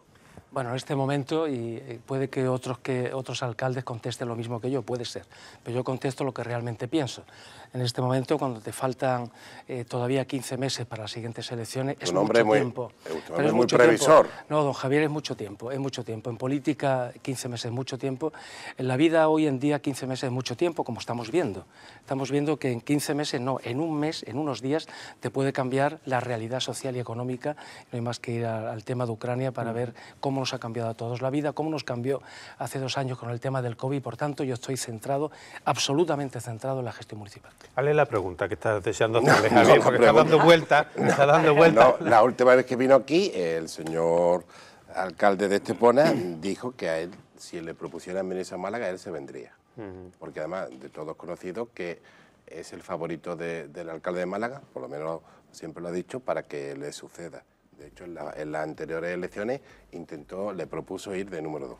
Bueno, don Javier, yo todas estas cosas que usted dice, yo no las ratifico ni las confirmo de esa manera. Lo que sí le puedo decir, No, ¿qué- claramente, ¿qué, qué- qué es lo que nos rectifica? ¿Que usted dijo aquí lo que dijo? sí, Cuando quiera podemos sacar el vídeo. estamos dispuestos. ¿Lo sacamos? Estamos dispuestos. Eso lo sacamos. Porque nunca se me preguntó eh, si iba a ser candidato. No, no candidato, si usted iría en la lista de Málaga. Bien, pues ahora le digo que ese tema es un tema que... ¿Que le han leído la cartilla o algo? No, aquí no hay cartilla, aquí somos todos ¿Le regañan adultos. después, No, le han regañado no, no. después por decir las cosas? Señor Recio, somos adultos. Por eso, por eso se lo digo. Todos. Todos, todos, todos. somos adultos. Por eso, bueno, me gustaría sacar el vídeo. Somos mayores de edad y todos sabemos y respondemos a nuestros propios actos. Y yo le digo que ese tema está más que superado. Que en este momento no le interesa absolutamente a nadie. Que don Francisco de la Torre... Eso que no le interesa a nadie. ¿Puedo, puedo seguir? Permítame ¿Puedo- que, ¿Puedo seguir? permítame ¿Puedo que seamos los ¿Puedo periodistas seguir? los que intentemos darle Bien. a los Bien. espectadores lo ¿Puedo, que. ¿Puedo seguir? Por supuesto. Bien, que el, don Francisco de la Torre, como he dicho en muchas ocasiones y reitero ahora, ya no es que será una persona que pasará a la historia del siglo XXI de la provincia de Málaga, es ya historia, es presente, pero ya se ha ganado por sus propios méritos estar en la historia de la ciudad. El mejor alcalde que ha tenido esta ciudad. Dios nos lo cuide muchos años. Yo quiero que siga siendo alcalde. Se ha ganado el derecho a serlo mientras él quiera. Y la gran mayoría de los malagueños eso es lo que quieren. Y el Partido Popular eso es lo que quiere. Y por tanto, yo también es lo que quiero. Pero eso no es mi pregunta. Mi pregunta es si usted lo acompañaría en una lista. Pues ya le digo que es un tema que no está planteado, que mi sitio está en Estepona, que me quedan 15 meses, que tengo 10 puntos todavía de los 100 por cumplir y que estoy dispuesto a llegar hasta el último momento y cumplirlos. Le puedo decir que en Estepona se comenta, me han llegado, conozco gente en Estepona y siempre me dicen, uy, nuestro alcalde se está preparando para irse para allá. No me lo han dicho ni una ni dos veces. Bueno, cada uno puede opinar lo que quiera, pero yo lo- no, no voy a hacer más que Sí, repetirlo. pero que me refiero que no es un debate de periodistas, que es un debate que está Bueno, pues ahí, a mí que- esa, esa, esa sensibilidad que a usted le llega, a mí no me llega. Lo que les reitero es que estoy para ser alcalde de Estepona, que es lo mejor que me ha pasado en la vida, que me he entregado, como quien me conoce sabe que me entrego cada vez que hago algo, que han sido 10 años de muchísimo trabajo y el reconocimiento ha estado ahí, o sea, no por casualidad, eh, y debo decirlo, eh, debo decirlo, no por casualidad he sido el alcalde más votado de España, dos veces. De que serlo una vez parece difícil entre 8.000 municipios, serlo dos veces es estadísticamente imposible. Sí, está claro que Pues usted es el Paco de la Torre de Estepona. Eso está claro que es verdad que tiene muchos predicamentos allí. Pero, y a mí me gustaría preguntarle, ¿la aventura aquella que tuvo en, en el Congreso la repetiría? ¿Le gustaría volver a la política nacional ahora que hay un, un nuevo, una nueva dirección nacional en el Partido Popular? Pues la verdad que no me lo he planteado, Esto le, le contesto de la misma manera. Estamos a 15 meses de unas elecciones, tengo un programa electoral que cumplir, estoy comprometido con cumplirlo y mi sitio está ahora mismo en Estepona. ¿Qué le ha parecido la crisis del PP? Mm, Y yo añado Feijó. Pues sí, mira, eso la- es Feijóo. Yo, yo es que además estaba escuchándolo antes hablar y no puedo eh, evitar hacer comparaciones casi casi el efecto Feijó, ¿no? Que eh, el alcalde de Estepona vendrá a Málaga casi casi cuando ya no haya más remedio e incluso a la segunda. Hubo un primer intento cuando el alcalde lo intentó llevar de, de número dos. Por supuesto, las circunstancias de la otra parte no son las mismas, pero, pero bueno, al final Bueno, será pues le digo el lo, lo de mismo Málaga. que al señor Recio, son afirmaciones que usted hace, Bueno. doña Ana. ¿eh? Interpretaciones. Lo que sí le digo que el, que el Partido Popular ha superado en muy pocos días eh, lo que evidentemente era una crisis y que afortunadamente se ha superado de una manera ejemplar y desafortunadamente para otros grupos políticos, pues lo siento, pero la hemos sabido superar. Y además eh, el Feijó es una persona eh, que llega a- en este momento al Partido Popular, a la presidencia del Partido Popular, con un nivel de asentimiento general nivel de asentimiento que ya hace décadas que en España no tenían ningún presidente o secretario general de un partido político. Por tanto, ya con un nivel de aceptación general que garantiza que hay una unidad en el Partido Popular. partido fuerte, partido serio, partido cohesionado, partido que cuando ha llegado el momento de demostrar que hay que superar una crisis lo ha superado. ¿Le gusta Isabel Díaz Ayuso a usted? Bueno, Isabel Díaz Ayuso ha demostrado también, y ahí está el resultado electoral, que es una persona, que, aparte de su propia personalidad, su capacidad de trabajo, que genera una empatía más que sobrada y ha conseguido lo que casi nadie apostaba por ella, que es sacar mayoría absoluta en una comunidad autónoma tan poblada y tan complicada como Madrid. ¿Y a Casado qué le desea? Pues Casado ha hecho un, buen trabajo, ha superado una, época de transición nada fácil en el Partido Popular y bueno, pues ha, hecho esa, transición. Eh, si nos retrotraemos tres, cuatro años atrás, cuando teníamos un, Mariano Rajoy cesa la presidencia del partido, cesa de presidente del gobierno eh, y nos metíamos en el gobierno en el que estamos, no hay mal que por bien no venga, eh, pues yo creo que él ha hecho un buen trabajo, el trabajo ha terminado y ya está. Yo quería preguntarle, perdón eh, hoy se ha conocido que Vox va a entrar en el gobierno de Castilla-León con tres consejerías, la vicepresidencia, la presidencia de la Cámara del Parlamento. ¿Qué opinión le, merece esa circunstancia? Si cree que eso va a afectar, por ejemplo, eh, puede afectar de alguna forma al gobierno de Andalucía en el sentido de que el electorado andaluz pueda pensar también que el PP y Vox eh, podrán tener un, gobierno conjunto? O... Bueno, es pronto para hacer análisis. Lo que sí es que el resultado del gobierno en Castilla y León es el resultado que ha salido de las urnas. la, gente en Castilla y León ha querido que gobierne el Partido Popular, es el partido más votado y el Partido Popular es el que va a gobernar. Como las urnas no han dado una mayoría absoluta, tienes que pactar con alguien. Y es el Partido Socialista el que tiene toda la responsabilidad porque ha podido abstenerse si no quería que vos gobernara. Pero lo que no podía el Partido Popular es, dejar en la ingobernabilidad esa comunidad autónoma. Vale, pero vamos a profundizar un poco. Yo creo que es interesante, no por lo que pasa en Castilla y León, que yo, vaya, los castellanos leoneses pues me, parecen estupendos, pero bueno, tiene poco impacto en Andalucía y mucho menos en Málaga, ¿no? Pero eh, sí me interesa por el impacto que pueda tener en Andalucía. ¿Usted considera, de alguna forma, está contrario a que el PP pacte con la extrema derecha dentro lo que, eh, digamos, lo que el PSOE dice extrema derecha, eh, dentro de su propio partido, incluso el propio Casado intentó mantener distancia eh, con Vox. ¿Lo considera extrema derecha? ¿Lo considera derecha extrema? son, muchas, Son, muchas preguntas de golpe. Vamos, vamos a ir un poco desgranando una a una. Bueno, vamos a ver. El Partido Popular ha demostrado en Andalucía que sabe gobernar y puede gobernar en coalición. Por tanto, es una experiencia de gobierno que ya se tiene, que se puede volver a repetir si no se sacara mayoría absoluta a lo que aspiramos, porque en este momento la Junta de Andalucía ha demostrado, en tres fases ha demostrado mucho en estos tres años. En primer lugar, demostró que hizo un análisis de, un diagnóstico de cómo estaba la Junta de Andalucía, que desde el punto de vista de las alcaldías notamos el cambio inmediatamente, porque fuimos, porque desde el primer momento nos sentimos respaldados, escuchados, donde llamabas a un consejero, a un delegado y tenía respuesta inmediata. Primera fase. Luego de una segunda fase donde la gestión ha empezado a demostrarse. Y también desde el punto de vista de la alcaldía le puedo decir que si ante un informe sectorial tardaba un año, ahora tarda tres meses. Si tardaba tres meses, ahora tarda uno. Es decir, la eficacia en la respuesta administrativa de la Junta de Andalucía es del 0 al 100, ha mejorado muchísimo.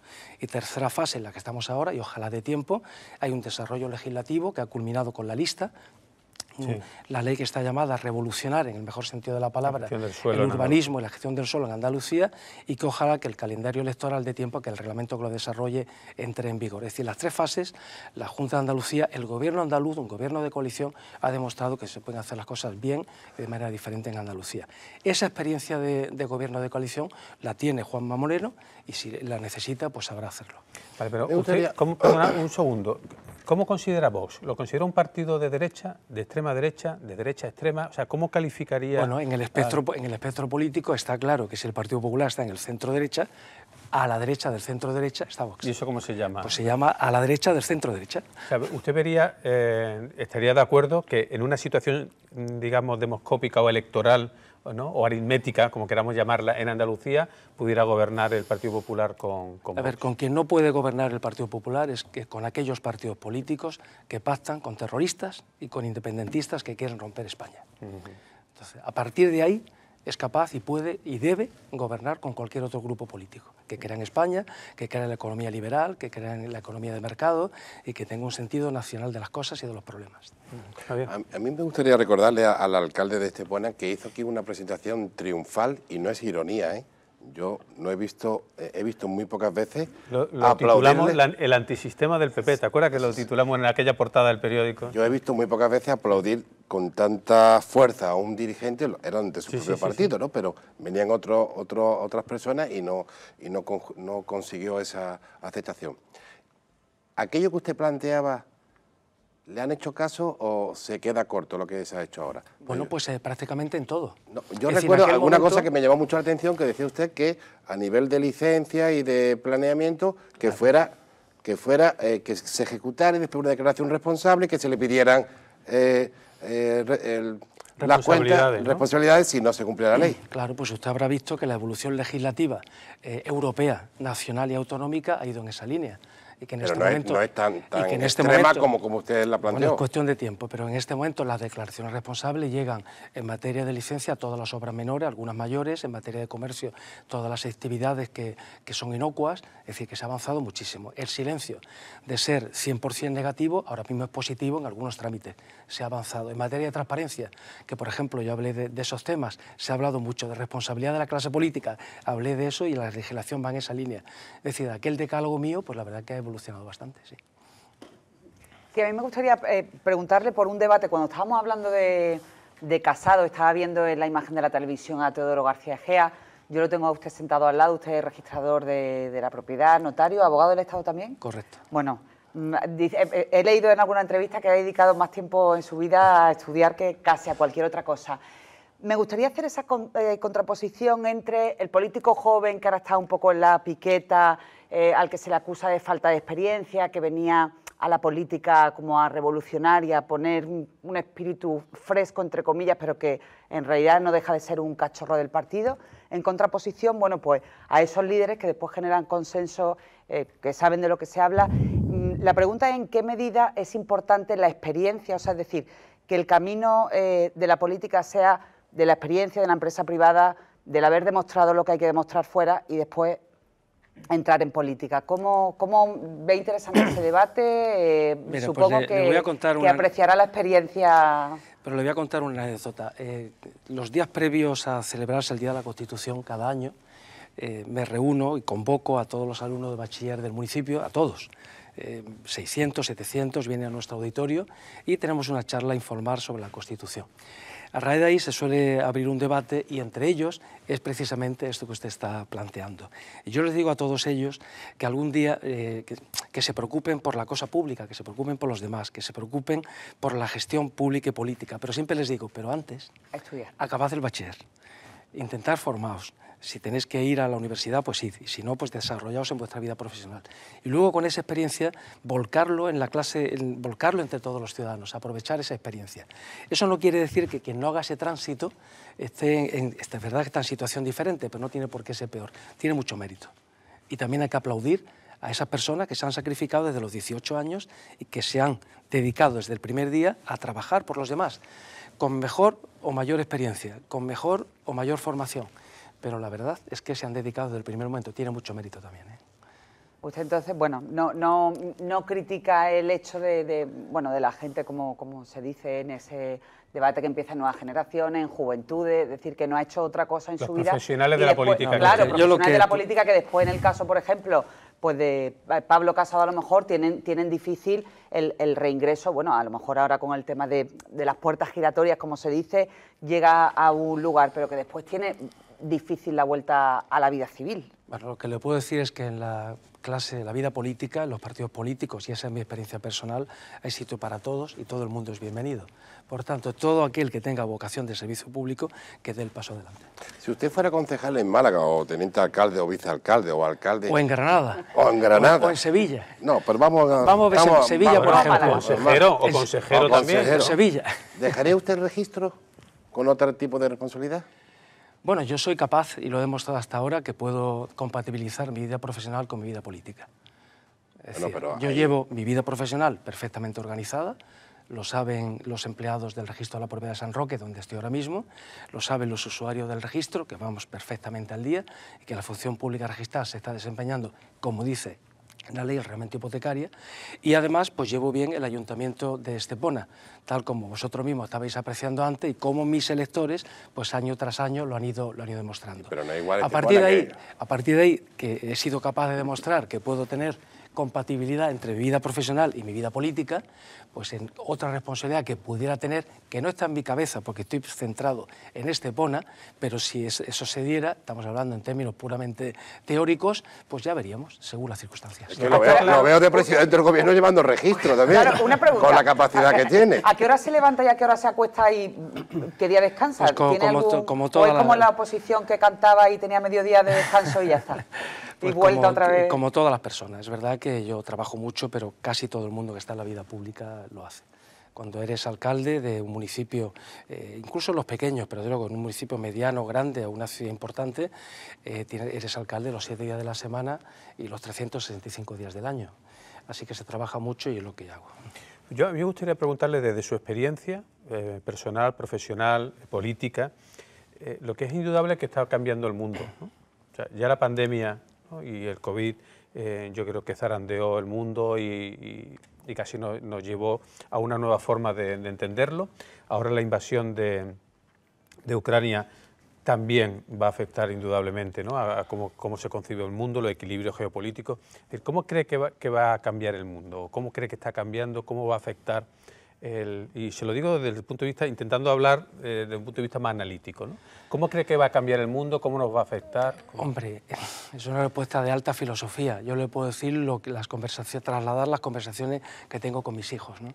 Y a mis hijos les digo que, que miren hacia adelante, que se pongan orejeras, que no se dejen enturbiar ni contaminar por los acontecimientos que están sucediendo, que son muchos y demasiado rápidos, tal como están pasando, que ellos tienen sus objetivos personales, que continúen con ello, que sigan estudiando, que sigan adelante, pero es verdad que en este momento tomar decisiones a muy largo plazo pues es difícil y tomar decisiones a 15 meses pensando en próximas convocatorias electorales pues también es difícil. Le gusta, pero es que le gusta ¿eh? Al final le va la marcha porque me pincha. Es una gran, es una, es una pregunta casi filosófica y dice, pero bueno, Javier, venga. Pero luego, luego... No, no es verdad. Además, es que lo, usted mismo lo ha dicho en la introducción a la pregunta, ¿no? O sea, el COVID nos ha hecho pensar que cualquier decisión que tomes a, unos meses vista se te puede venir abajo. ¿eh? Cualquier planificación ahora es difícil.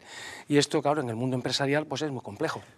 Pero eh, Estepona, al igual que toda la Costa del Sol, pero también en Estepona, eh, muchos residentes eh, ucranianos, muchos residentes eh, rusos también. O sea, como alcalde, que me imagino que tiene contacto con, bueno, con todos ellos, con empresas que tienen intereses tanto en Ucrania como en Rusia y al revés. O sea, ¿Cómo cree que es? Bueno, a nivel ciudadano hay una convivencia natural entre todas las comunidades extranjeras eh, en unión con las comunidades nacionales que hay en Estepona, pero claro, la, incidencia económica y social que va a tener esta guerra de Ucrania se tiene que notar en toda Europa, se va a notar en España, se notará en, Andalucía, en, Málaga, en la Costa del Sol y se tiene que, notar en Estepona.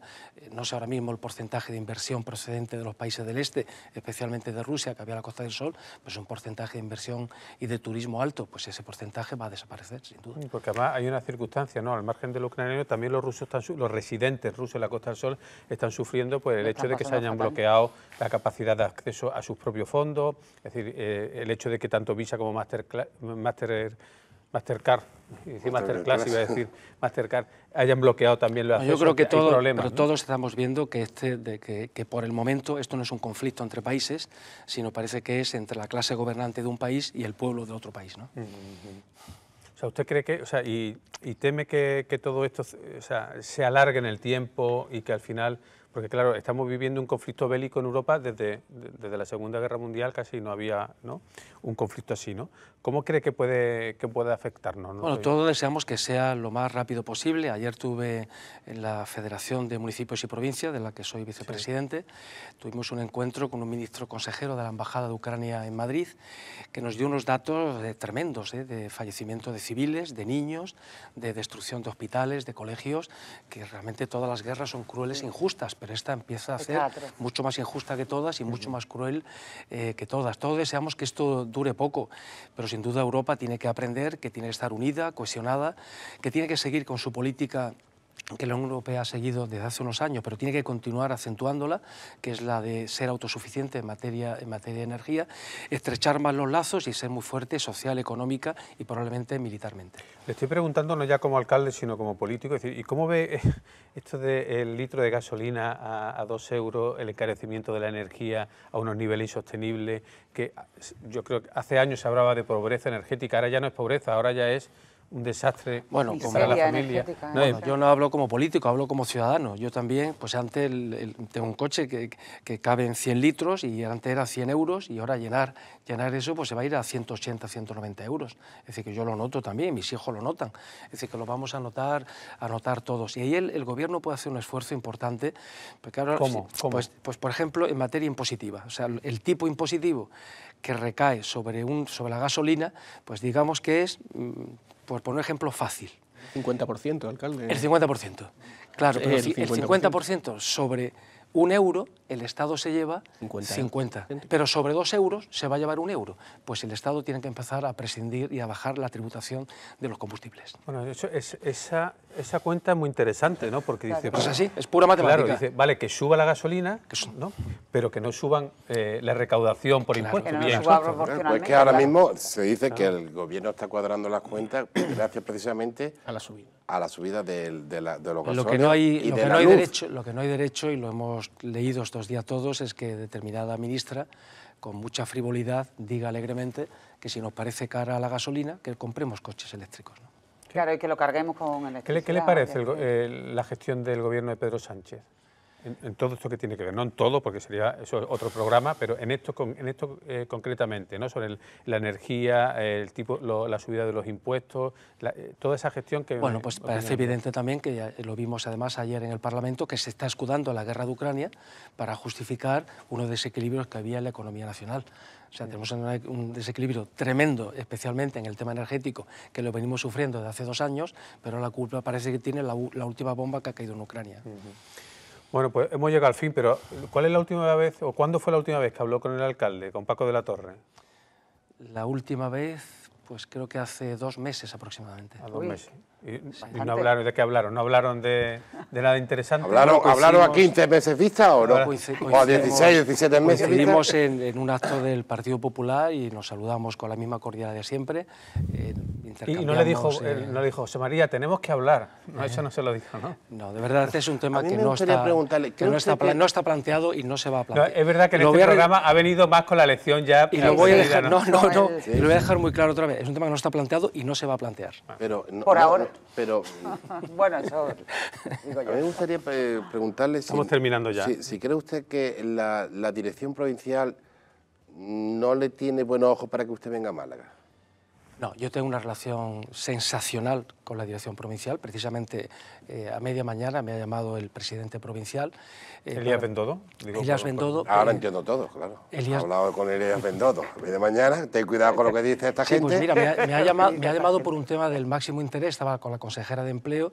El SAE, Servicio Andaluz de Empleo, necesita una nueva instalación en Estepona y me llamaba desde el propio Parlamento, me llamaban los dos para ver si desde el Ayuntamiento teníamos un local que pudiéramos compartir y, por supuesto, habido una proactividad y vamos a, encontrar un, lugar en el que podamos, en el que podamos colaborar.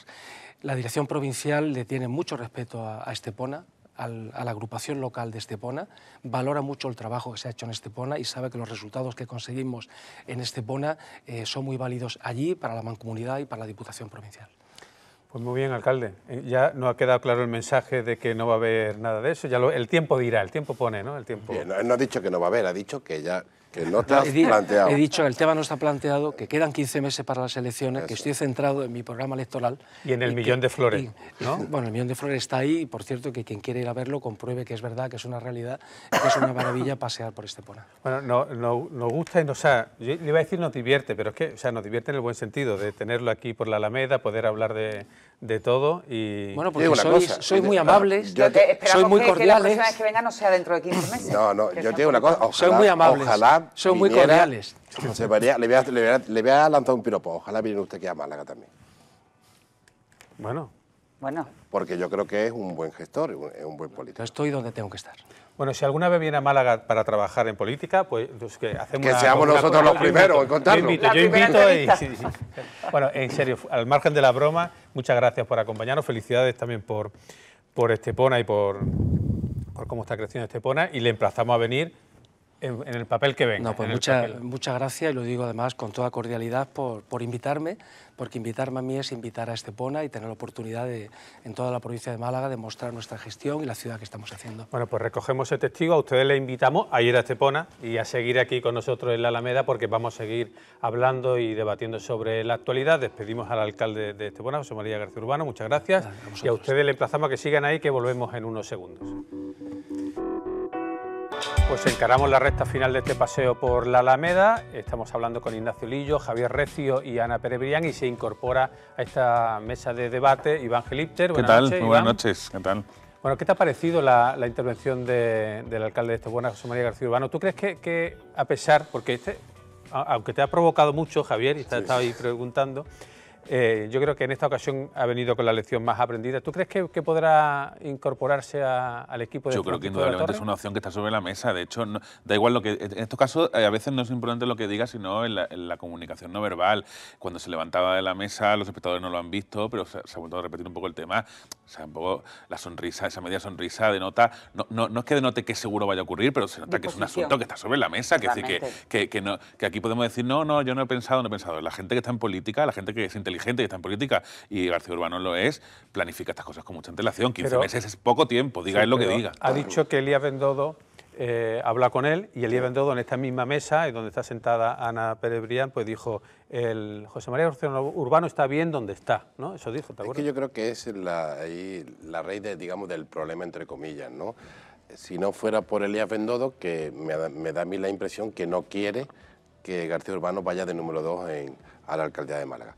Si no, Pero estaría dependerá eso. mucho de lo que ocurra en las elecciones andaluzas, porque al final vamos a suponer un escenario en el que el, el Partido Popular pues no renueva el, el poder en Andalucía. Pues también depende toda esa gente que, en el caso de Elías Bendodo, por ejemplo, también tendrá que buscarse otro Un futuro. lugar al que volver. Claro, entonces la alcaldía siempre ha estado en la mente de, de, de Elías ¿Qué Bendodo. valoración entonces, haces claro, tú que sigues la de información municipal, Ana? ¿qué, qué valoración haces sobre eso? Sobre, ¿Puede haber un pulso ahí? No un pulso, sino... Yo creo que sí hay un pulso. Eh, en- Yo creo que sí hay un pulso un tanto incómodo porque Elías Bendodo, como, como dice Iván, todavía no quiere abrir ese debate. También yo creo que en, el- en la dirección provincial del PP se ha eh, girado completamente sobre eh, el posicionamiento con respecto al alcalde. Yo creo que ya lo van a dejar hacer, van a dejar que... Bueno, que- yo creo que nadie ya- duda que el alcalde se Sí, vuelva pero a presentar. refiero, Estoy convencido, Quizás, eh, quizás eh, al- en- antes de, la- de las anteriores elecciones había más prisa para medir los tiempos, para decir mm, te tienes que presentar o no te tienes que presentar o deja paso. Yo creo que ese debate ya está superado en la dirección eh, provincial del PP. Van a dejar al alcalde que, que él se, se presente, como, como ha dicho eh, José María García Urbano, yo creo que se ha ganado el derecho a decidir si se quiere presentar o no. Y entonces no quieren, no quieren abrir todavía ese melón, porque yo creo, yo, yo sí que creo que a pesar de que sería una buena, una buena alternativa, no sé cómo sería la, la convivencia en el, en el número uno y el número dos del alcalde de Málaga. Bueno, conociendo al alcalde, Urbano. Sí. Francisco de la Torre y José María García Urbano saltarían chispas Bueno, a los dos meses. ah, bueno, a los dos meses. a los dos días. La semana. el alcalde ha ahogado en la pecera, como se dice vulgarmente, a todos los delfines que le han hecho sombra, con lo cual yo Tampoco creo- nadie ha sido de la creo- envergadura política de García Yo creo Urbano, que, ¿eh? que Elías Bendodo no quiere eh, arriesgarse a esa situación. Ignacio, por terminar el... Sí, yo, yo creo que si el alcalde piensa en alguien para sucederle, eh, García indudablemente. sin Oye, duda. Javier, Pero cuando y- él se vaya. Cuando- Javier, ¿y claro, qué, valoración, qué valoración haces tú sobre eh, lo que ha ocurrido en Castilla y León, el, el- el acuerdo para gobernar el Partido Popular con, con Vox? ¿Tú crees que va a tener algún efecto o va a cambiar los planes, la estrategia en Andalucía? o- Yo creo que... Digo, te lo pregunto porque parece que está abocado a que Vox... ¿no? Vamos, está claro que si el Partido Popular eh, pretende gobernar en, co- en comunidades y en España, tiene que darse cuenta que tiene que gobernar con Vox. Si es que es la única manera que tiene que, de gobernar. Le ocurre al Partido Socialista ahora. El Partido Socialista está gobernando Vox extrema derecha, Podemos extrema izquierda, está gobernando con pactos con, el, con Bildu, que es un partido que respaldaba... catalanes, ¿no? Bueno, un, Bildu, eh, el partido que apoyaba a ETA, ¿no? Y está eh, eh, apoyándose en los golpistas catalanes y no pasa nada.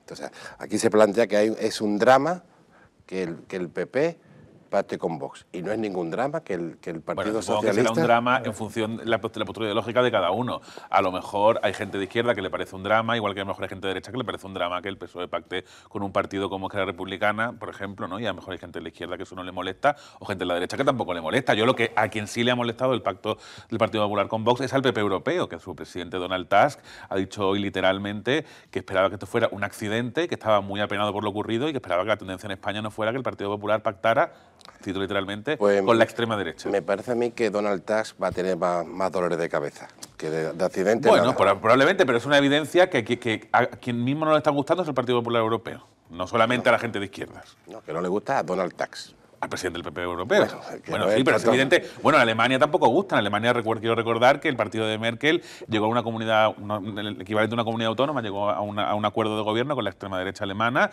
y tuvo que intervenir Merkel y romper ese acuerdo, a pesar de que perdió la Sí, presidencia pero de esa en de Alemania, esa zona y- es y- y- en Alemania es En Alemania diferente. es posible la gran coalición y aquí en España eso es una cosa absolutamente Yo no sé tú, si tú sabes que en Sí, Alemania está prohibido el Partido Comunista.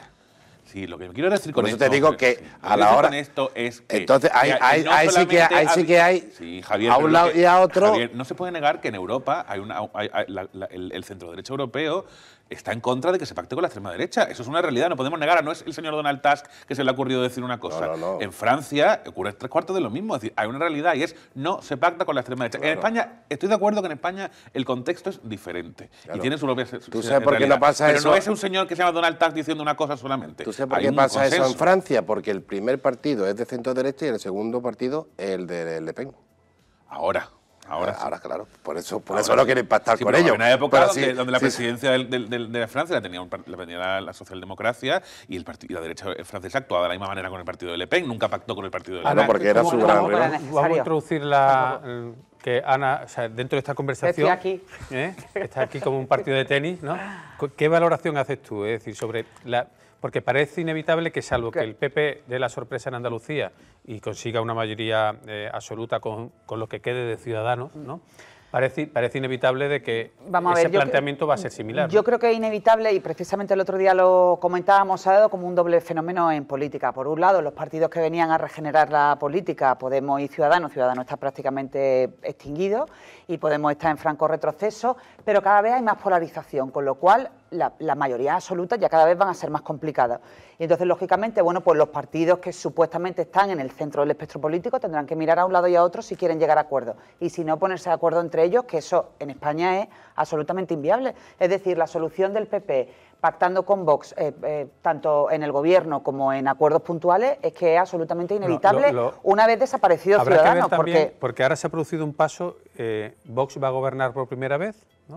Entre estar en la oposición. Sí, claro, ahora ya criticando perderá la todo, pureza, ¿no? ya se perderá Y la pureza, por supuesto. Para, para empezar, van a gobernar una comunidad autónoma estando en contra de la comunidad autónoma. Es decir, Claro. Sí, es que yo creo, Manolo, fíjate que es todo un poco consecuencia lo que el Pero escenario perdona, de Iván, hablado, un sí. apunte solo por si te Sí. sirve eh, para, para matizar.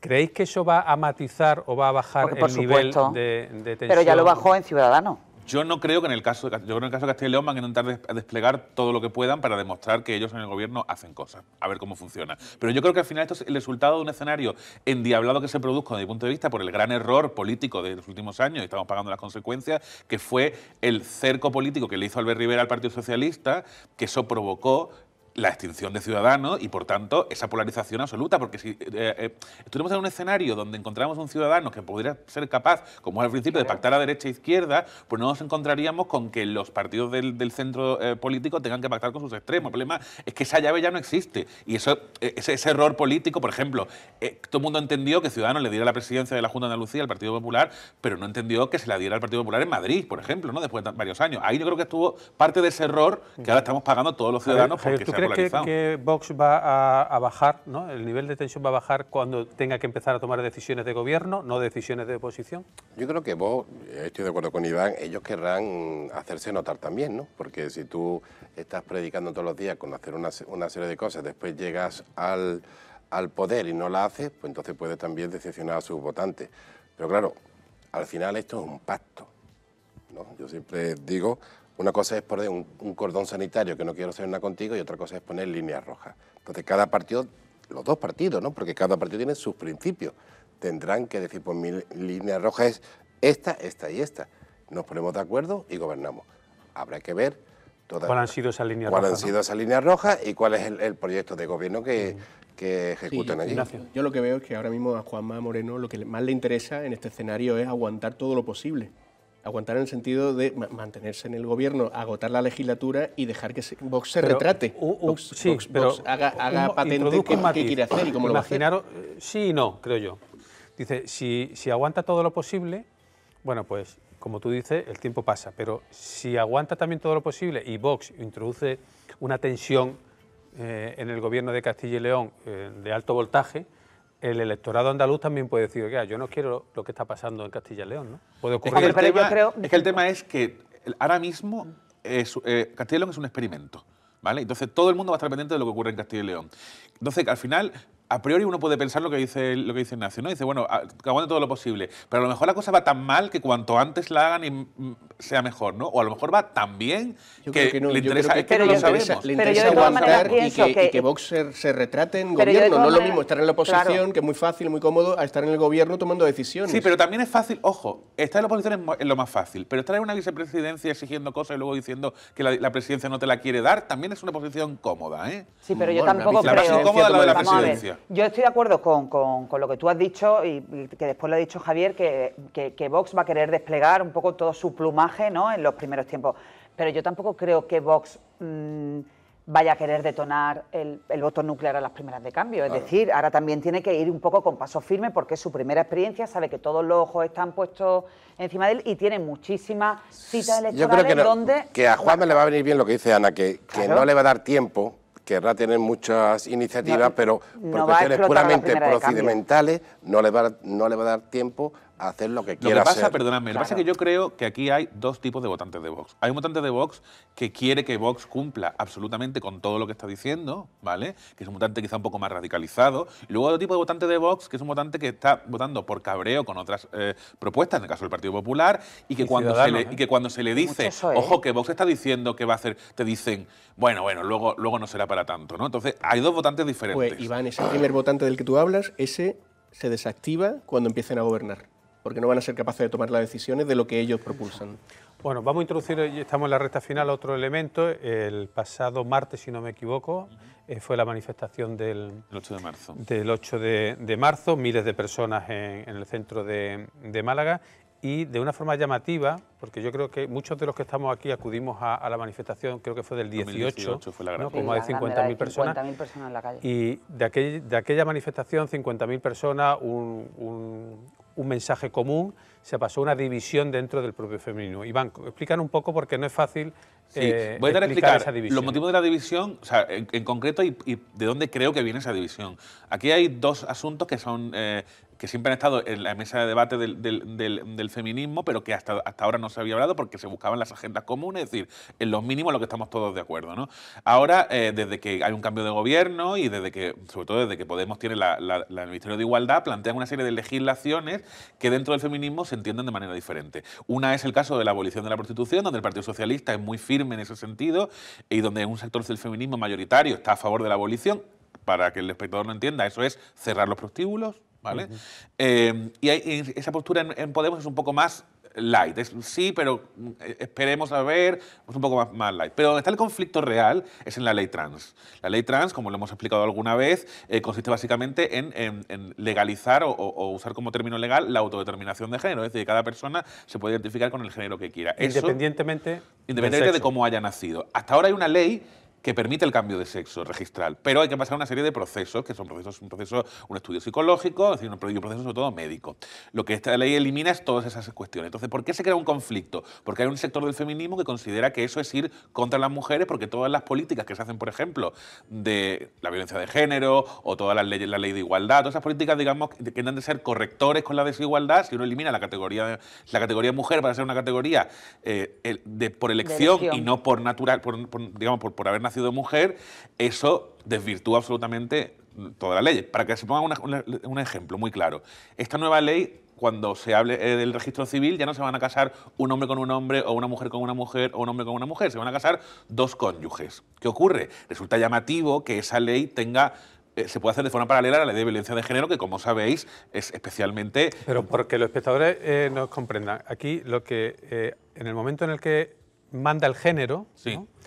Quiere eso decir que cualquier persona que se sienta mujer, independientemente del sexo que tenga o de pues puede, eh, digamos, actuar como mujer. Puede ir y decir, oiga, yo me siento mujer y quiero que se me trate como mujer, independientemente de otro. Esto tiene dos cosas muy claves para mí donde está el, parte del conflicto. Una es en el caso de los menores, ¿vale? Es decir, hasta qué punto unos padres o unas madres pueden determinar eh, que un menor es un menor trans. En el caso de Suecia, por ejemplo, están eh, pensando dar, darle la vuelta a la ley, que era una ley similar a la que se piensa aprobar aquí, porque en, muy pocos años se multiplicó un 1.200%. Es decir, eh, hay, gente incluso diciendo que al final un, niño amanerado eh, se empezó a, tratar como un, como un niño trans, lo cual me parece algo puede ser eh, peligroso. Y luego el caso del deporte, que es especialmente llamativo. Hemos visto en, estos días, en estos meses, el caso de la nadadora Lía Thomas, que era, que era antes de, ser, eh, de, hacer el proceso de transición, era un hombre con resultados mediocres y ahora en la última competición le sacó 30 segundos a la, competidora. Creo que eso es injusto claramente con las mujeres. Pero quiero hacer un apunte y, es muy, rápido que hemos terminado ya. Sí, que es, ¿por qué se elegir este conflicto? Porque yo creo que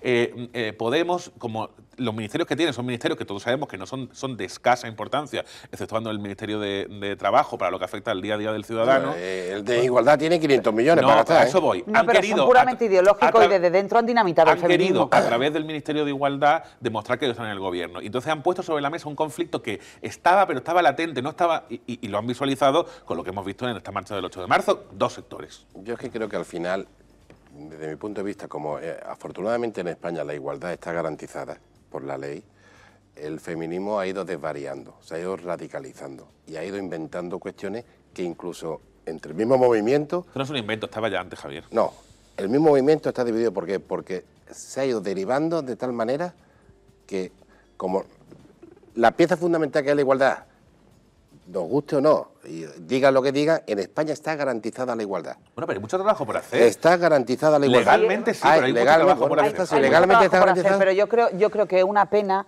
que todo ese movimiento transversal del que hablaba Manolo, de la manifestación de hace cuatro o cinco años, se haya dinamitado además precisamente desde los grupos de izquierda. Ha sido llegar al gobierno y plantear desde un ministerio absolutamente ideológico eh, bueno, que han convertido, un ministerio que han convertido en ideológico. no creo que lo fuera per se. Al final el efecto ha sido la ruptura total del movimiento. Pero yo quiero decir, Manolo, de todas formas, que el otro día en la manifestación había 10.000 personas, había más gente de la que yo esperaba, sinceramente, eh, y la mayor parte de la gente no entendía lo que estaba pasando. Es decir, ahí la gente, la mayor parte de los claro, porque, porque todos los que defendemos la igualdad entendemos que tiene que ser un movimiento transversal. Claro. igual que el feminismo, tiene que ser transversal y no convertirlo, digamos, en un eh, casi ideológico. Algo de pancarta. La gente pensaba que la división era porque no se estaban enterando que un lado avanzaba y el otro no. Nadie, la mayor parte de la gente no sabía que había unos metros de distancia por una cuestión eh, hecha a propósito. La gente pensaba, ay, mira, se han, confundido o se han despistado y no están avanzando. Eso es lo que opinaba la mayor parte de la gente. Por otro, y además los carteles que veía, todos eran carteles hablando de la igualdad salarial, de la, de la, y contra la violencia de género, a favor de que la gente pueda llegar a, las mujeres puedan llegar a casa sin problema por las noches.